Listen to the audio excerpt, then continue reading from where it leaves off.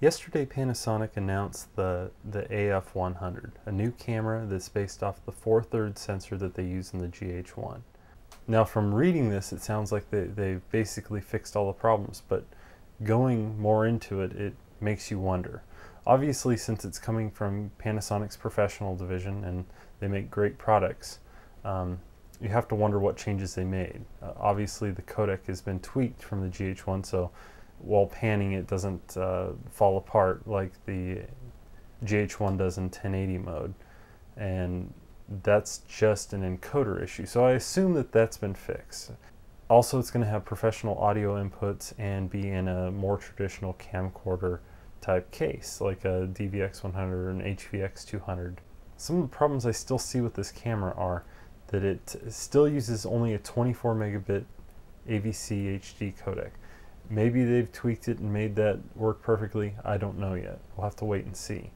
Uh, the second thing is is that the 4 thirds sensor is huge. It's great. It's fantastic. But it's just a weird format for a lot of lenses. It doesn't match uh, a lot of professional lenses that are 2 thirds. It doesn't match the cine lenses, which are uh, around you know something like Canon 7D sensor size. So in a lot of ways, it's exactly what people have been asking for. But also at the same time, it it might not be.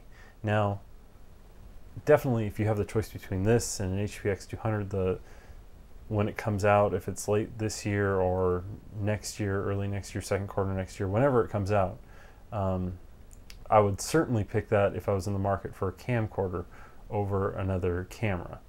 But I, I still makes me worry about some issues like uh, sensor downsampling. The sensor is the same that's in the GH1. And obviously it needs to line skip to get down to 1080p or 720p resolution.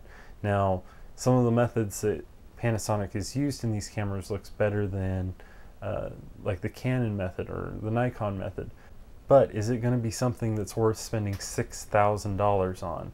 Is the image quality that improved? I hope I get to test a prototype to see how it compares. I've used all the other Canon cameras and I've used all the other Panasonic handheld cameras and I love them and I've owned them and but I don't know. There's no way that you can fully read the sensor and downsample that sensor to a 1080p output with today's current sensor technology without spending a lot of money.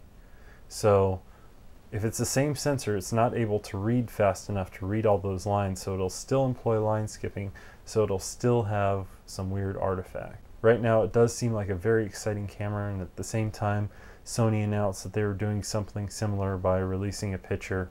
Uh, we don't know any information about that camera yet, but uh, hopefully it's got uh, an EX series image quality with a Super 35 sensor. If more details come out or more comparisons or images come out, I'll definitely keep you updated in comparison to the other cameras and see how it all turns out.